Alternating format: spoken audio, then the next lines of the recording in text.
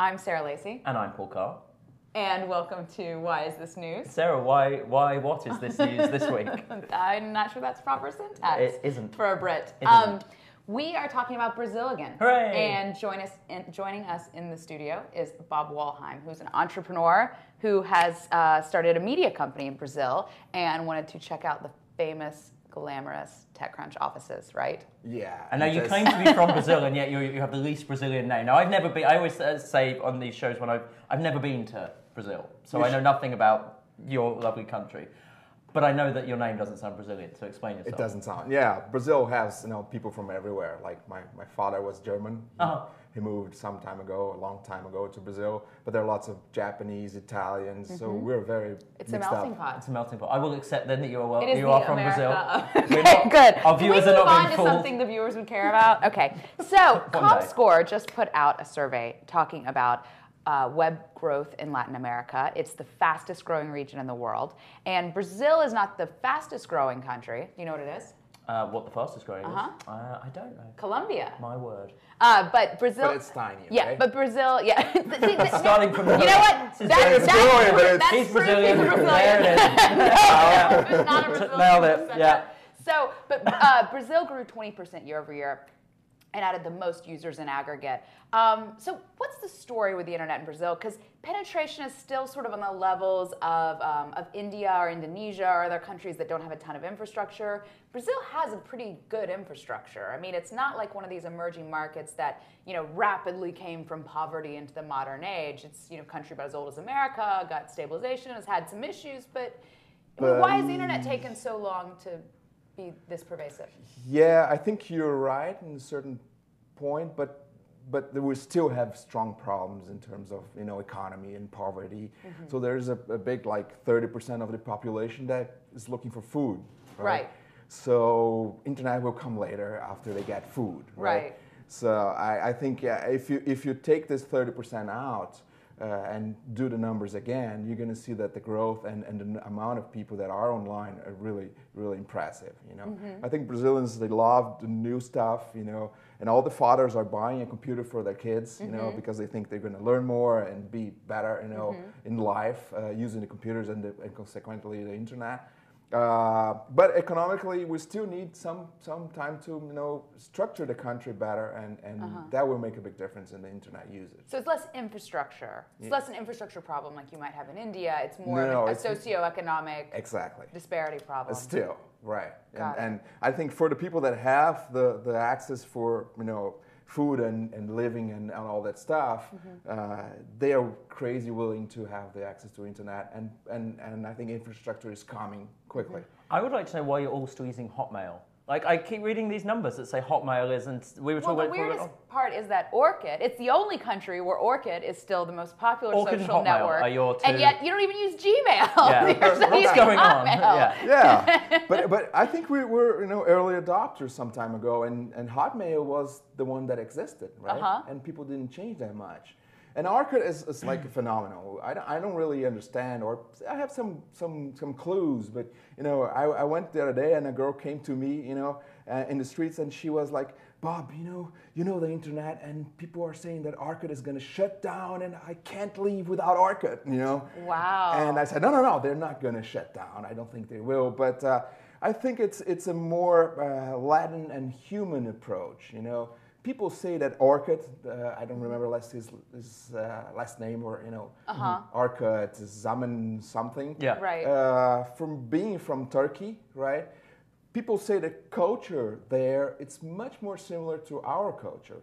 It's more friendly, more people oriented, and, and more towards our relations and less uh, towards what we have done or achieved. You know, and that's why when you look at the Facebook numbers in Brazil, they're they're small, right? And they're they're growing, but you know, even compared to other Latin America countries that are much smaller than we are, our Facebook's numbers are, are really Right. tiny. There's def- sorry. No, go ahead. I was going to say there's definitely a, a, a the, to your point about um, you know the cultural thing. There's definitely a culture in Brazil, it seems, of using you know Portuguese language sites and Brazilian sites. Um, we, we were talking Right. about the numbers before, and Well, and other countries in Latin America say whether they're in the internet business or any business, it's easier to do business with China than it is to do business with, With Brazil, Brazil. if you're Argentina or Yeah. Chile or even Colombia. So, I mean, you guys are sort of like America in that you're a country that really loves Brazilian things. One of the numbers that jumped out to me in this stu- survey was that. Um, 34% of Latin Americans online are from Brazil. So it's not like you dominate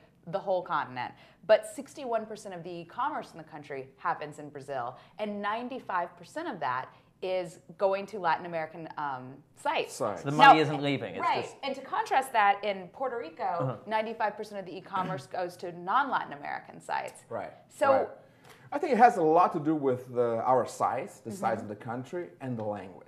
Right. The language makes a big difference, and we're speaking Portuguese. Basically, along the word, oh, sorry, Portugal, you know. Look, and- Portugal.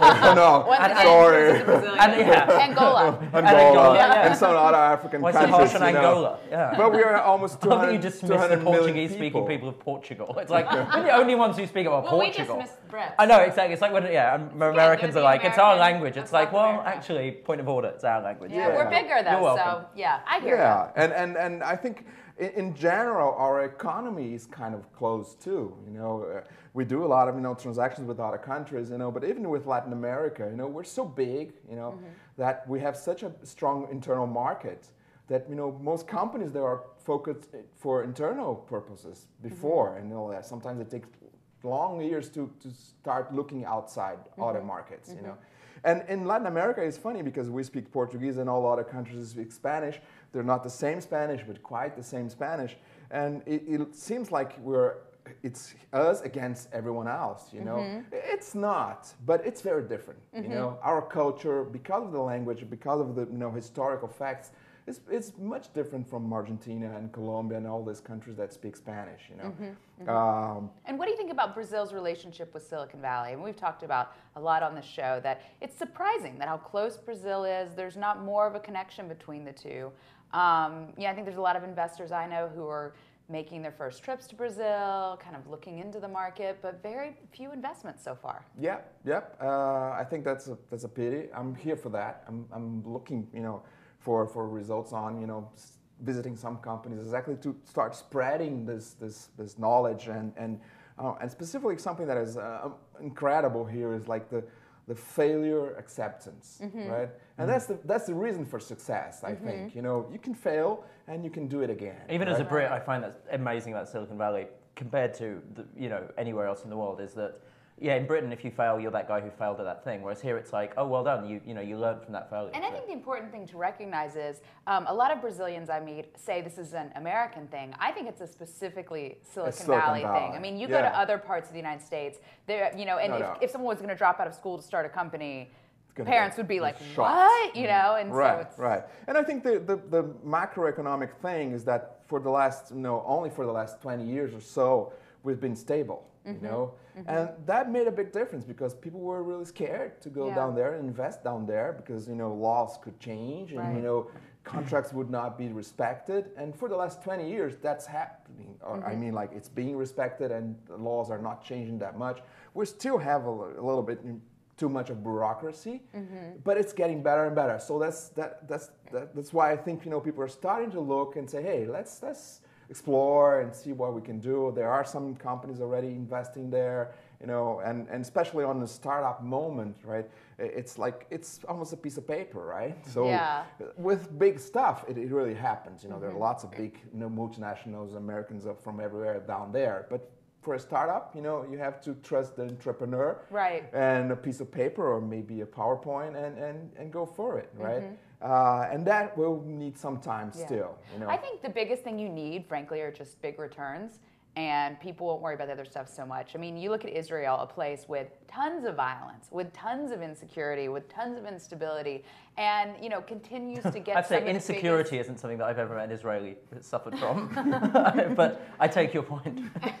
as in the opposite of security. I got it. Um, and people, you know, still have invest in Israel in droves and have indre- invested in Israel as uh, warfare in the region was escalating. Um, by the same token, India is ranks one of the worst countries by the World Bank in terms of ability to enforce legal contracts, which you'd think would put investors off, but they don't. And They it's don't, because yeah. of opportunity and entrepreneurs and results. So you guys get a few good companies. Yeah, Ever, all yeah. the reasons people say people don't invest in Brazil will go away.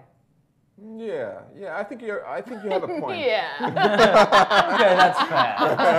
well, lucky for me, we're out of time, so we'll just end on my point. okay. Paul, would you like to add I have nothing else to add except that you should really give Gmail a try. I think you'll find it. I think you'll like it. I do. I do. Well, thank you very much, and join us next week on Why Is This News? Thank you.